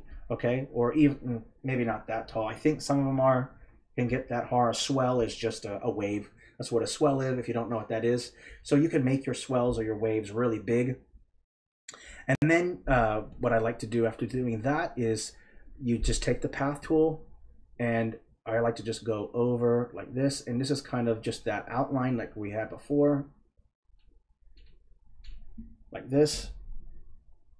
And I might have to change it. And all I'm doing is just kind of creating an outline so I have the parameters. Like this. And I'm going to have to bring them back a little bit too. This has to go back a little. There we go. That's to go a layer behind. And I'm going to uh, copy and paste this line work so I have a guide to work with so that I know uh, the line work. So if I copy and paste this like this and put it across like this, I'm just going to use this as a guide. These lines are my guide. If you want to know how to make lines, uh, it's not too hard. Just use the text tool like this since that, that segment isn't in there. Um, if I remember correctly, I do believe that metamorphosis plus shift like this. This is how you create your line work. That's it. And you can drop the opacity on it, whatever you want. So that's how you do line work until that segment section is out. But that's how you do your line work. It's just super easy. Uh, obviously, once the segment part comes out, uh, this will be even easier with just a simple point and click. But in the meantime, this is the workaround. Okay, now I'm going to select uh, this path, make sure the parameters are the same, and I'm just using this line work remember as a guide. So just go like this until you get to the center. Go like this until you get to the edge there. And then just take those long lines. Let me see, is the right one? Delete that one. And then, is this the right one? Delete that one. Okay, and so now you have to have that wave part. And that's the first part. There's a little more to it than that. Um, we're going to have to start flattening thing, things pretty soon, and we're going to have to start putting where the ocean connects with this tower because it looks like it's a, uh, it, right now it doesn't look right. So we have to do all these kind of changes, and don't worry, we'll get to that. We want to make sure that this is also a layer above, and so is this one. Want to be a layer above. Let me just check. Really is great. Thank you, Laura. I appreciate that. Ooh, thank you. Hey, Callum. Oh, I'm glad you're enjoying the demo. I absolutely love making underwater scenes, so we're getting there. So we've done that part. We're at 52 changes. Let's just save. We got about 40 minutes left in the stream, and we're going to probably flatten some things pretty soon. First, we want to add the proper ground texture. It has a lot of artifacts and kind of gives it this kind of like rugged groundscape. And so we'll get to that. Let's do that too. So brush tool, FG layer, because remember the top of the isometric block here is is a um, is the FG layer. Open up the catalog and uh, let's get rid of custom assets. Doesn't need to be in there. And let's go to Fantasy Battle Maps. I do find that Fantasy Battle Maps 2.0 uh, does have some really great textures that might work for underground. Uh, let's just take a look at the options. There's this nice dirt one right here. There's also some uh, cracked ground like this one, this gray cracked ground. You could add that on there too. Let's just uh, change the size in advanced settings. And let's apply it to the, the FG just to see what it kind of looks like. There we go. Yeah, I like that. That adds a little bit of character. And there's now you got some nice ridges in there um, and that kind of stuff. And in fact, we, we can probably just remove some of these cliffs because uh, a lot of this texturing is kind of doing the cliff work for us, which is kind of nice. So we'll delete some of those cliffs because they kind of don't interact well with this. And then and a real quick tip that I used in uh, creating a dungeon. One second, I'm gonna take out my sweatshirt. It's really, really toasty in here.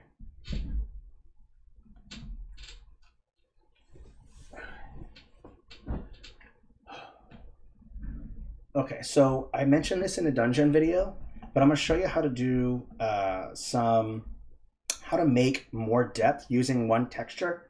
So I'm going to save this texture because this is a texture that I'm working with. It will show up in my favorites, so it's right there. I'm going to go in and I'm going to change the brightness to make it a little bit darker, darker, darker, darker, darker, darker. Let's go with maybe 49.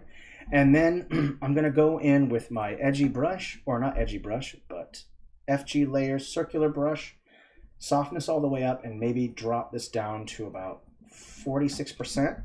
And what you're going to do is take sections, take some of the line work to show depth. So let's say I want this ledge right here to look a little bit darker. Then just take that dark part of that texture and go in here like this. And what you're doing is kind of creating this illusion of more depth by just taking in a section of it. And you can make it even darker still like this by just applying it again.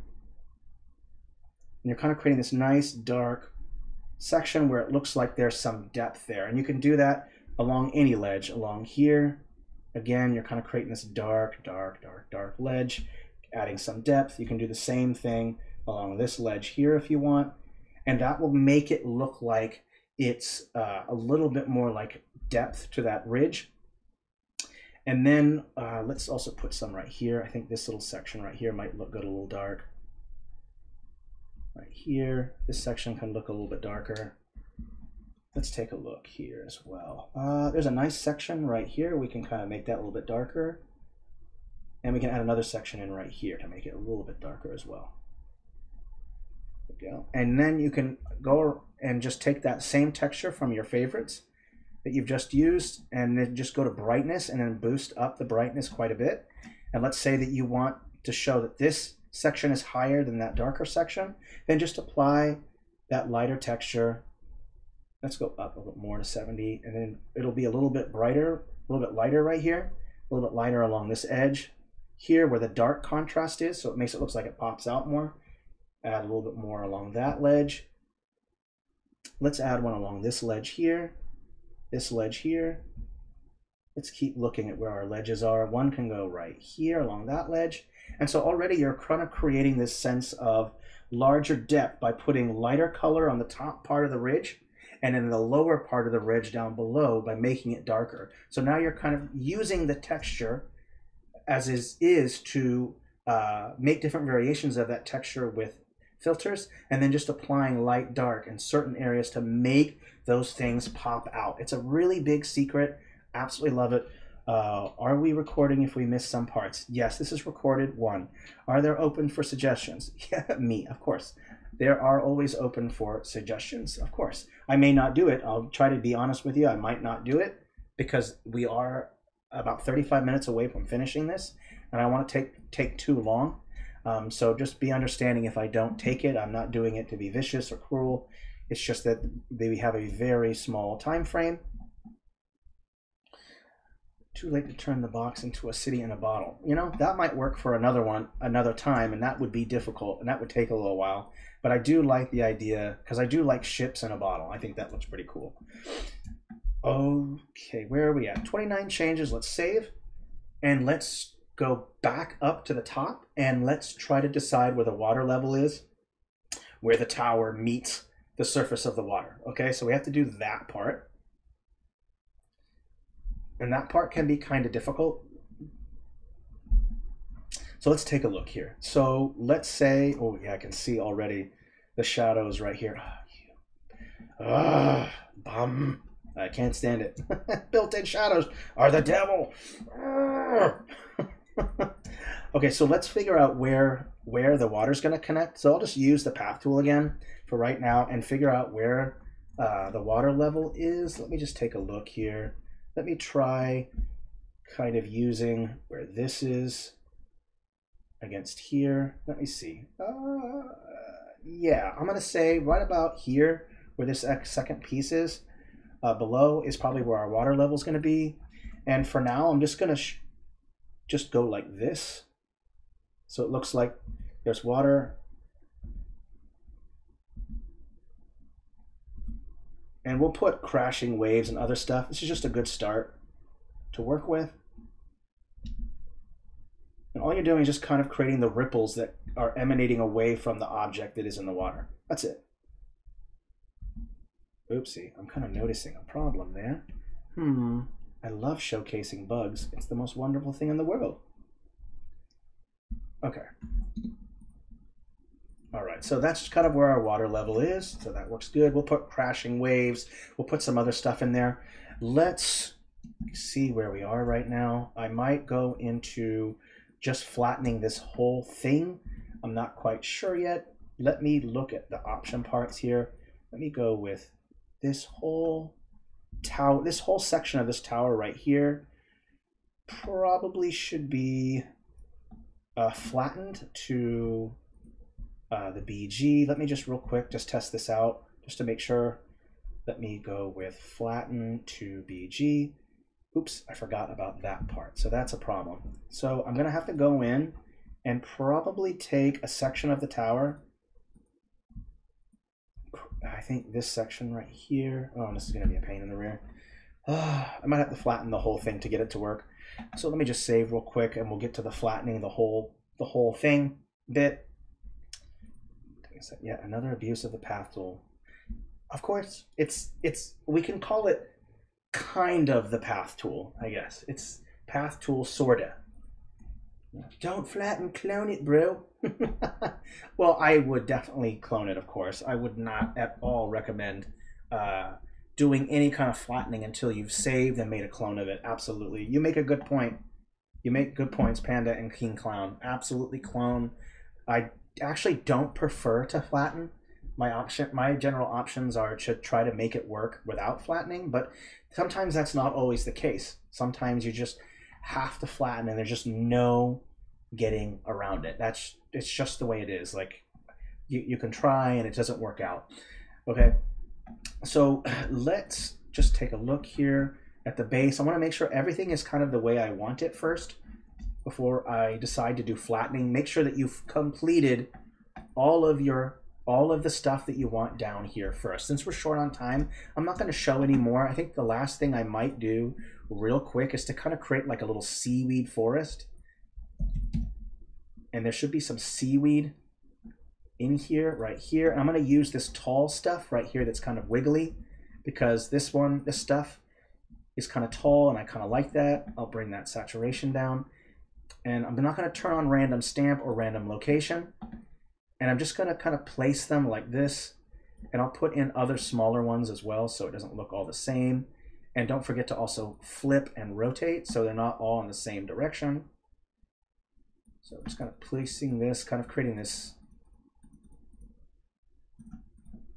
seaweed forest. I'm going to fill in the negative spaces with this so that um, that way it's not looking too bare on some of those negative spaces. So I'll put a whole bunch of seaweed in here. Don't forget to flip. Don't forget to put in the other one, smaller one. Okay, there we go. So we got some seaweed there. And it's also nice because it removes that flat edge right there. And so it covers some of that flatness. And that's nice. That's what you kind of want. And I'll even put just a couple over here, just kind of stragglers, just to kind of break up that straight line.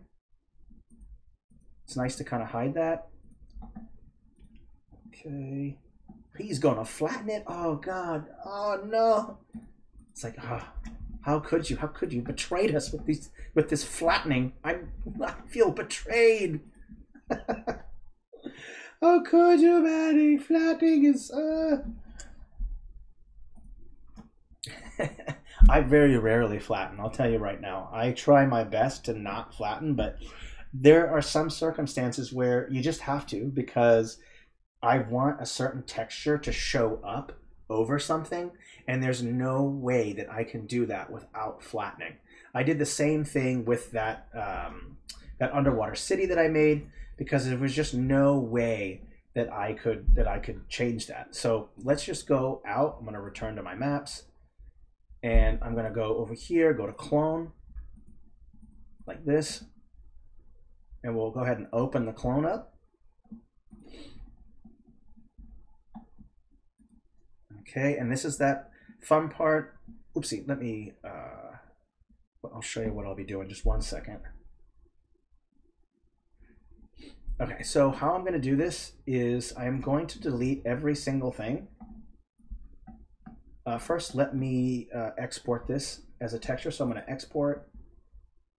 It's in 3K. So this is going to be an export. Give it a second. So there's our image. Nice. I'm cool with that.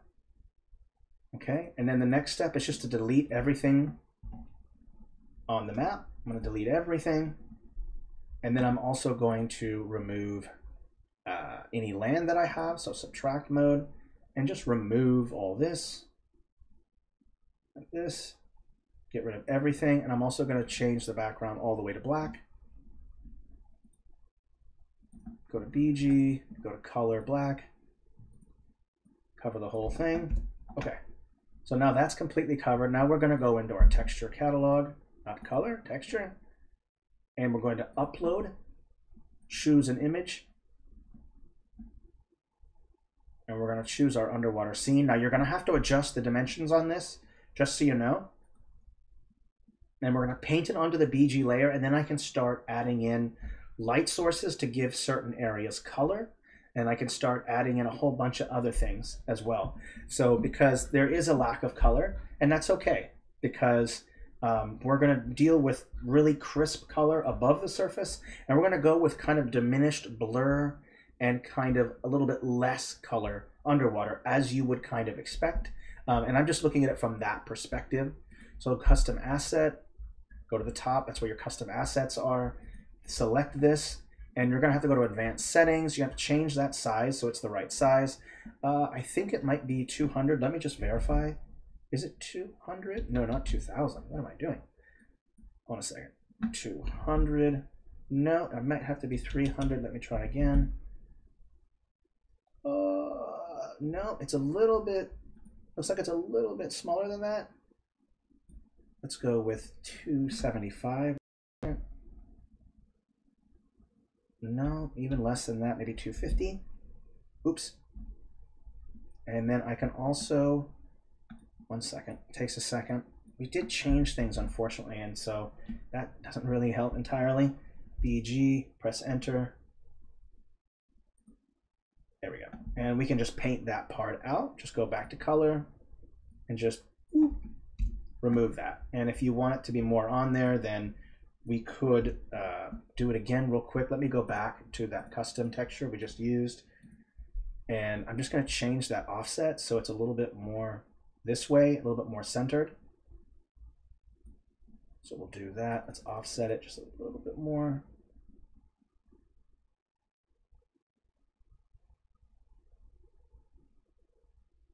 Okay, I think that looks good. Let's apply that. There you go. Okay, so that's been applied. I'm going to quickly save too and I'm just gonna save and then we're gonna put our textures, lights, stamps, and everything else over it.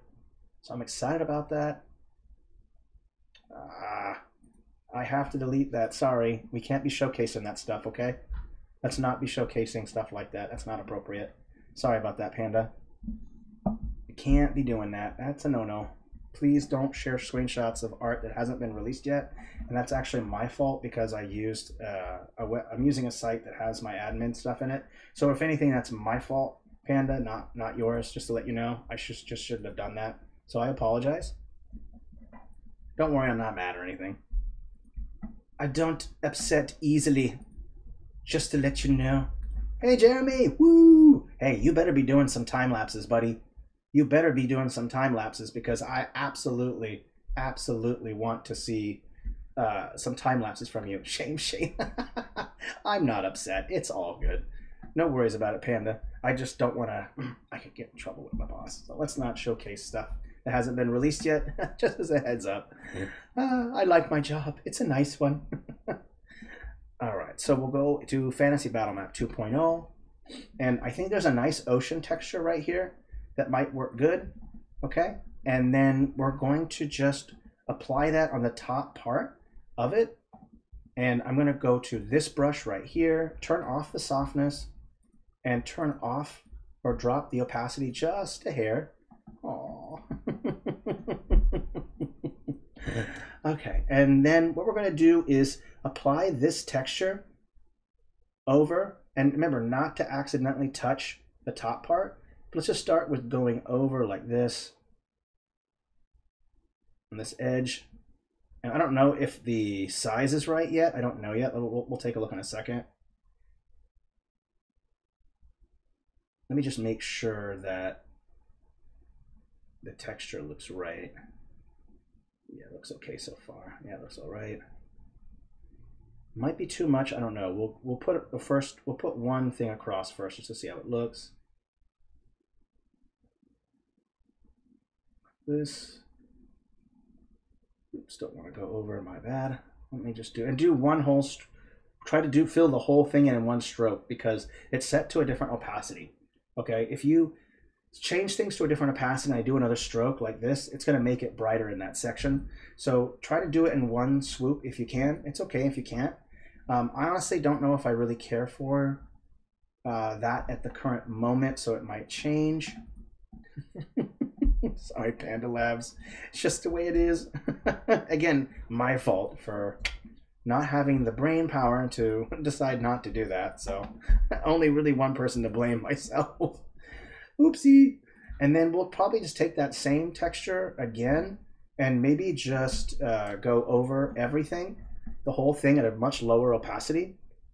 So we can go in like this and get that nice kind of blue kind of color in there like that. So we're at that nice step right there. And then from there, let me see. From there, what we're probably going to want to do is start adding in light sources to kind of give the color that we want. Am I a god? No, far from a god. oh, don't ever refer to me as a god. That's so dangerous. You're trying to inflate what inflated ego I already have. uh, Okay, so this looks so good so far. Let's go in with that next step. We're gonna add in some light sources and then we'll add in a scene. So I'm just gonna search all styles, type in light, and then there should be a bunch of light sources. Uh, ooh, there's already one right here from Spooky Light, so maybe we can add that in there. Okay, and let's say that you want certain sections to be have certain color to it that you didn't have before. So what I like to do is just say I want some of this coral to kind of look like reddish or something. You can go in and just kind of select these two spooky lights, change the light source, change the sources to uh, change the color. So go to advanced setting hue. Let's say that you want uh, green, red, whatever color you guys want want to use. It's it's not a problem to me. Let's say purple, okay? And you want to add make something add purple, then just go ahead and drop the size down or drop the opacity down. You have this nice purple section. Add in more light sources if you want to keep going. Let's say that you want some of this coral to be brighter than others, so just add some more light sources. So you have this nice purple kind of coral going on. and yet you're still not uh, drowning out any light too. You're trying to, the gray will kind of uh, help to make whatever light source, whatever you're lighting up with that light to make it pop out more. We use that quote often in our house. love that scene. Yeah, love it. Ray, when someone asks you if you're a god, you say yes. uh, Ghostbusters. Long time, huh? Let's see. Maybe a blue color would do well for these ones. So let's try maybe make a big one here, here. Oops, one here, another one right here. And I'll just add in some other spots that have a little bit more bright light on it. There. And then I'll add in a green one for maybe our seaweed. There's green, looks good to me. And just put it on there. Got some nice green over here, over here. Put some green over here. Okay, and now let's say that you want to add some uh, light sources or some color that's coming out of these buildings or something like that, right? So let's say that we just want to go ahead and just take our regular light source right here and bring up the opacity. Let's maybe change it to normal for now. And then we can also just go in and kind of change it to where it's an oval shape. Going like this. And we can kind of just put that copy paste like this so that it looks like there's light coming out of these things. So there's light coming out of that one. Let's say there's some light sources coming out of this one like this. Okay, so if you don't like the yellow, you can change it to whatever color you want. You don't have to go with yellow. It's perfectly fine if you want to go with a different color. There's absolutely nothing wrong with that. perfectly okay. Uh, I also maybe want to put these dots right here might work well as some maybe some kind of light source. So we can put some on each one of these dots. There we go. I think that looks okay. Let me just take a look. Oh no, they all disappeared again. Ah, what is this bug? Why? Why you do this?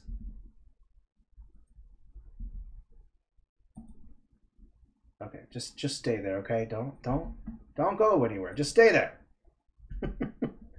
okay, let's go up and then I'm going to change that blend mode back to overlay because I want it to affect, I want it to uh, interact differently. And I'm going to drop the opacity down just a bit, copy paste, and just put these over like this so it looks like it has some light.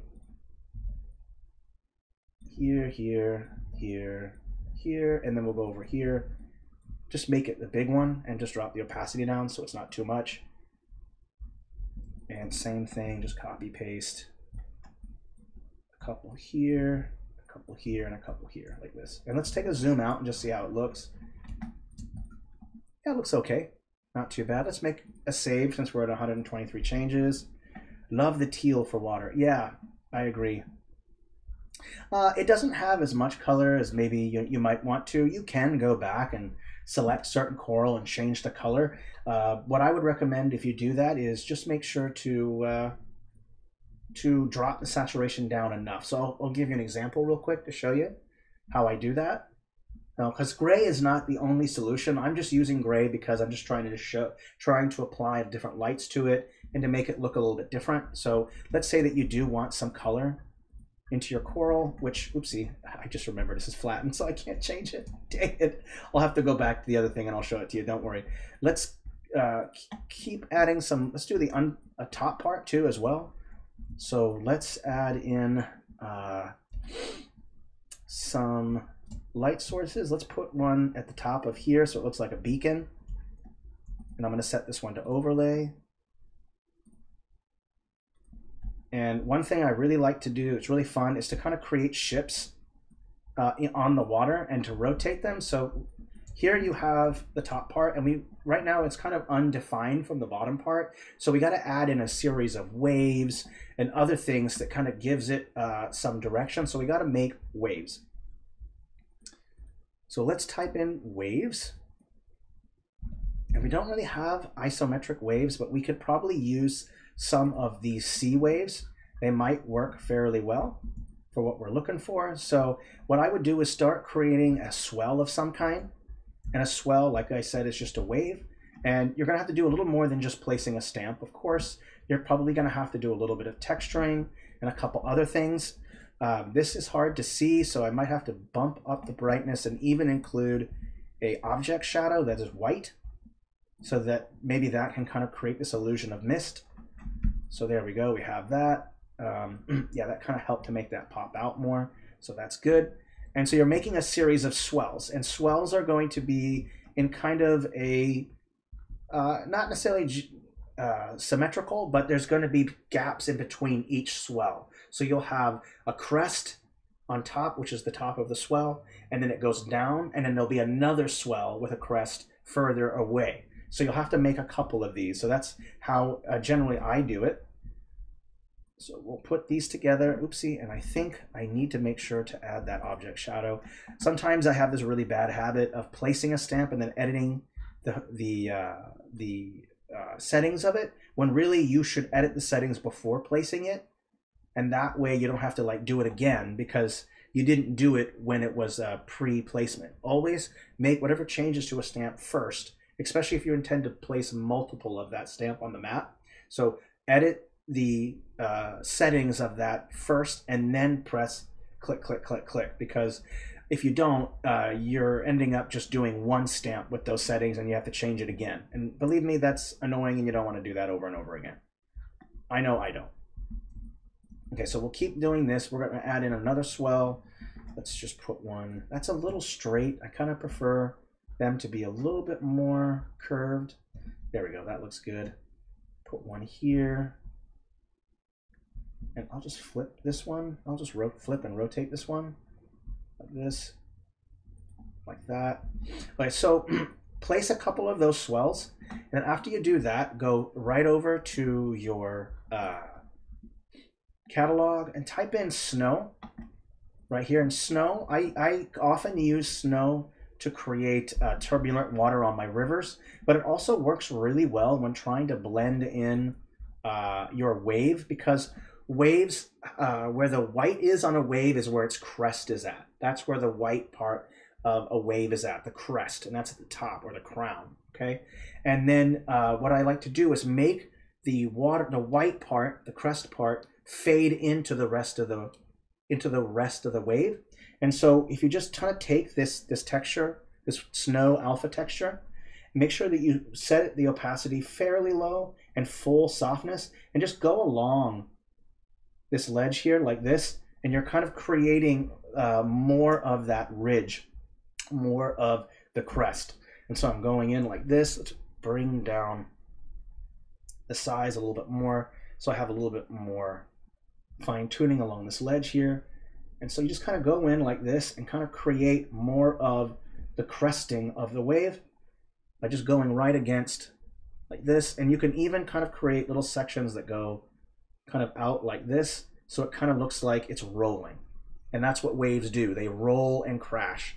So I'm going to make sure to kind of create some sections where it looks like it's rolling and crashing. And I know that it, unfortunately, uh, it kind of doesn't work well with the current texture that I used here on top. So that might be an error on my part. Maybe you want to use another one. Okay, so we got this here, got some nice wave here. Go same thing, I'm gonna go in right here, like this. Do a second round, and don't forget to make it curved. So it looks like there's some curves there. And then the next step to also is to add in a great stamp I like to use. It's called Mist. And I believe it's from Fantasy or Regional H2O. There's this kind of mist right here. And the mist is great because uh, there's something called sea mist. And sea mist can occur in multiple places if there's just a heavy wind that's ripping off uh, water from the top of the crest, and you know you'll have this kind of sea mist. If the wind is, uh, if a wave is crashing up against an object, then you're going to find some mist, sea mist there, because it's creating sea mist from the friction of water breaking against rock, or just the wind carrying off the mist, or carrying off the water right off of the crest. So, you know, if you have to, don't feel like um, you don't have to, but I like to add a little bit of mist to the top of my crests so that it kind of looks like there's a little bit of turbulent activity going on. And I'm also going to use that same texture as well to uh, line my edges like this. And just make sure you don't go off like that. Oopsie, don't do that unless unless you want to show uh, the illusion of you know the wind carrying off a crest, so it would look like this. You have some going like that. If you wanted to, that could be mist as well. But I'm just going to go around these edges like this. Okay, there we go. Just to kind of further separate the difference between the underwater part and the top.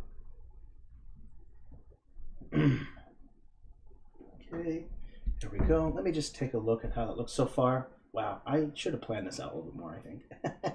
this doesn't this is not my favorite underwater scene, but I hope that you're at least getting the general ideas, and I would absolutely encourage you to just try out your own things. But that's just kind of the general setup. Um, I'll make sure to go back and maybe change some more lighting in certain areas. Let's go back to this main light part down here. Now that we've done the top part, I'm gonna just add in a light source right on top like this to kind of create an overall aura that this light is giving off. So go to overlay, and I'm going to bring the saturation quite, or I'm bring the, the opacity down, and then just put that light source all over where the yellow lights are at so that it looks like some of that light is reflecting off of things like that. So let's take a step back and look at it. Yeah, that looks okay so far. Let's save. Yeah, not bad for two hours. Two hours. There are other things too, like if you want the light to travel uh, to the top of the surface, you can absolutely do that too. So I'll show you what I do to do that. Let's say that you want uh, some of this purple light to show up on the surface of the water. Just take one of those light stamps and just put them on top of the surface so it looks like the light is shining up. Now it's obviously many, many meters and many, many feet, so the light might not pierce that, but if you want to do it, you absolutely can, and it does look interesting. So if you take like one of these purple light sources, and you put them just right above where this is. So think about where that is. Go right up, boom, put it right there, and change the opacity like that. We'll bring it down even more. Copy, paste, let's put another one over here, and then another one over here like this. Okay, so that now you have, it looks like there's water, looks like there's light from that reflecting up. And since we're doing that same thing, let's maybe just do that here too if you want some of that light source to pop up. So we'll add a couple over here as well. Just put in a bunch like this, like this. There we go. So it looks like there's light reflect coming up from the floor and going up. So that's kind of a nice idea. And then um, let's also put a boat in here. And I think a boat will make it, uh, will help as well to, to create like this is the top surface of the water, right? And it's hard to just to know that for sure without putting some more uh, insinuation that it is the top. Okay, so if we type in like a ship like this, and we're probably to see uh, some ships right here. And um, the ship might be extremely small. So this is the part where scale comes in. Like how big is this ship in comparison to this. And so scale becomes a big deal. This size right here is is pretty good to me. I think it's okay. And for dramatic effect, I like to like maybe tilt it a little bit to make it look like it's going up up this very very hard swell and you can add in more boats or maybe some other ships if you want let's just say maybe there's another one that's a little bit smaller that's following in behind as well so you could put that one over here like this or you can put it maybe up against here if you want to make it look like it's trying to dock up against the thing or just trying to break up that line work of the tower. So you can overlap it like this, wouldn't put it in front, maybe like this if you wanted to. So this, maybe this ship's trying to get close to there, or you can move it along the edge so it looks like it's going up against another one like this, going down like this. So it's up to you how you want to go about that. But placing stamps like ships and stuff on top of your water is really going to help to give it like a sense of like, ah, okay, uh, I can see that this is a tall wave right here because there's a boat being lifted up And so adding in boats and other things, whatever you want, helps to kind of create like, ah, that's what that is. That's the surface of the water. It's always important important to add some things on the top because it might not be clear what it is, right? You're going to be like, well, I don't know. Is this like I guess this is underwater, but is this the top part? Well, it clearly is. There's a boat there, right? There's now there's no way that you're going to make the mistake of saying, oh, I don't know what that is. Of course you know what it is because there's boats traveling along the water. And again, don't make them straight. Kind of rotate them a little bit to make it look like they're dealing with kind of a rather turbulent and difficult kind of water as you would expect, right? Quickly save that and we'll do some last bits to it and then we'll call it good because we want to do filters as well. Hey, George. Hey, really glad that this information is helpful. And don't forget, this will be recorded. So if you just walked in, don't worry about that. Every Monday, I do a Discord stream, I record it, and then Thursday of that same week, I post that same video on our YouTube channel so that that way, pow, pow, pow, you don't miss all of it because you kind of want to watch it from beginning to end. And I also want to make an announcement that uh, I'm looking for people who uh, want to show their map process, like record their map process, and then and then uh, send me the video, and then I'll turn it into a time lapse, and then it will go over kind of a screening process with the team, and then maybe we can put it on our YouTube channel because there is a demand on our YouTube channel for shorter videos because streams, not everyone has a two-hour frame in their day uh, time frame in their day to watch a two hour stream. So I want to include more videos like time lapses and some shorter clips from uh, these videos so that people have uh, uh access to content that isn't going to take a huge chunk of their day. And I know that people have kids, school, work, you name it, all the fun stuff in life we love so much. Uh, so I'll make sure to put that kind of content on the YouTube channel um, there's some steps that we can go to add more color. And the way to go about doing that is very simple, just add filters. So we can go through some filter options if we want to. I know originally we added some color filters in there like winter to kind of add in a sense of more blue to it. And you can also drop the uh, filter down a layer because everything's been flattened now. And so you can bring it down to where the light sources aren't affected if you wanted to. So if I bring it down to layer negative 5, it's perfectly fine. The light sources are no longer influenced by the filter because the lights are on like layer 3 and the filter is on layer negative 5. So that way you're not, uh, you know, um, kind of um, blocking the light source. You know, you want to keep your light sources in, intact. So it, it works a little better. So let's see here. What do we have? That night filter looks so intense. Well, this is a winter filter. We could try adding in a night filter too if you want. Uh, let's go ahead and go with night filter. Okay, so there's that one. Um, we can bring the opacity down quite a bit and bring it down a couple layers so that the light sources aren't affected. And we can also play around with uh, blend modes because some blend modes might work better than others. So we'll go through a couple blend mode options ooh, you know, I really like this color burn one. This really helps to kind of like bring out the, the light sources pop out more. Um, I really like that the darkness underneath and because you would expect it that the farther down you go, the darker it gets, um, and you would expect it to be a bit brighter as you go up. That's just kind of what I would expect. And I'm going to also take a light source and I'm going to boost up the smaller one or the booster, the, the bigger one, and so that way we have a little bit more light on top of this tower. So let's go all the way up to 100%. I'm to put that there and then put this light source here. And I just kind of want uh, the tower to pop out more. Hold on a second. Come on. You can do this. You can do it. There we go. And so we have some light there. And it's because I want this tower to not be too dark so that it kind of disappears into that water. So that looks nice. And then there's some other options that you can look into.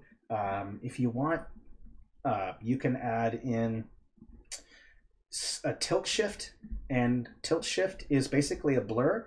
And we can go about this in multiple ways. We can change where the how big the blur size is whether it's linear the position of it. Let's say that we want to bring the blur size down. And let's say that we want maybe the blur to be uh, higher higher up. And so it kind of blurs uh, more of the underground part, and that's okay. We're going to drop the uh, the blur size and the opacity of the blur a little bit, so that way you can see it better. So let me check where our blur size is, our width. Let me bring it down a little bit more, a little bit more. Okay, we're gonna have to bring it down quite a bit because I don't want to hide uh, everything. I just kind of want to hide some of the lower parts with the blur. Let me go in make sure that there is blur right here. Yeah. Hmm. Oh, you know what? We're going to switch. We're going to not do a linear. We're going to go with a radial instead. Maybe a radial will work better. So give me a second to kind of look at that option. Let's go with blur size. Let's see where it is. So let's bring the blur size down a bit more.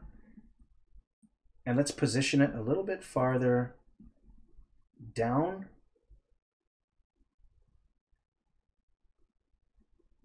Oopsie, am I using the wrong one? I think I am. One second. There we go. Okay. I don't want this to be blurred. This can be blurred a little bit. That's okay. Let me just take a look. I don't know, is blur okay with everybody or should we just remove blur altogether? I just wanted to showcase some of the tilt filter, the tilt shift filter. So I think blur looks okay to me. No blur, says George. Anyone else? Going once? Going twice? Three times. All these people are re responding. The blur makes sense. I think it looks cool. Panda says no blur. George says blur. Oh, it's tied up. Who's gonna break it? Who's gonna break it? It's two and two right now. Someone else. Put in your two cents to break it. I put you on the spot. no blur for Panda. Oh, we're still tied. Three and three. No blur. Oh, well, no blur. No blur now. It's leading the way. Okay, yeah, let's do without blur. Okay, we'll, we'll get without. So we'll remove it. So I'm just going to delete this. We don't need it. I'm fine without. And it's okay. We can add blur or we can just put it on there and then just turn it off for the future. But I think this is it. I think this works for me. The one other filter I recommend is always adding clarity because clarity will help things kind of pop out a little bit more. And so I've got this nice clarity filter on here. Let me turn it off so you can see the difference. Do you see the difference? The water becomes more blue.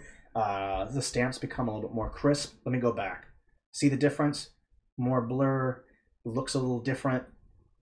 Add that in, crisp. Helps the colors pop out. Clarity is always a must. I always do that. Um, yeah, for this map, a blur would probably work good, but obviously for battle maps, blurs might not work. It just depends on the map that you're making. I, I can tell you right now about a tilt shift that you you should think first about the map you're going to make before you apply the tilt shift. Like you can't just go through your catalog of maps, you know, go through a couple of your maps and say, I'm going to add a tilt shift filter to this. Seriously, that does not work. You have to think first, plan out what kind of map you want to make, and then apply the, the tilt shift because the tilt shift really only works for certain kinds of maps, unfortunately. I, that's just my what I have noticed when working with that tool or working with that filter. But I think this is going to be it. I think this looks pretty good. Uh, there's, I guess there's some other filters that you could apply like old paper, which adds some texture. And I can just show that real quick and then I'm gonna be done, okay? I'm gonna quickly show the old paper. Yeah, well, yeah, it's okay if you don't use it. It's all a matter of personal preference. Uh, I have noticed that scenes generally work better there's a couple battle maps that I've made where there's like a portal in the center and it's like twisting and warping time. And so it's like time is different in the center. And so I used a radial blur. And so everything around the circular part of that uh, filter was blurred out because I was trying to create a effect of like time change. So, you know, using the filter to your, using that filter to your advantage with pre-planning is is the way to go about it. Again, don't don't do it on random maps. It doesn't really work that well. I'm gonna add one more filter, which is one that I like to use, which is texture filters, and it's called Old Paper. And I like to use that one quite a bit. Uh, it's in Parchment World. And if you don't see Parchment World in your options, if you select Search All Styles, all of them will become available to you. So just know that. Um, because this particular uh, texture this this filter is not a pre a default for this style, you'll have to change it. So overlay is the one I like to use. And I'm gonna drop it way down. So I don't want any of the artifacts to be affecting any of the light sources. I'm just gonna put it on overlay real quick, all the way to 100% just to see how it looks like, what it looks like. I'm not really satisfied with that. I'm gonna go to repeat too instead. And I'm gonna bring down probably the size and I'm gonna bring down the opacity. And what I'm trying to do is just kind of create some extra texture that gets built into it. And it's absolutely not a requirement, but I like to add it in there for fun because it kind of looks nice.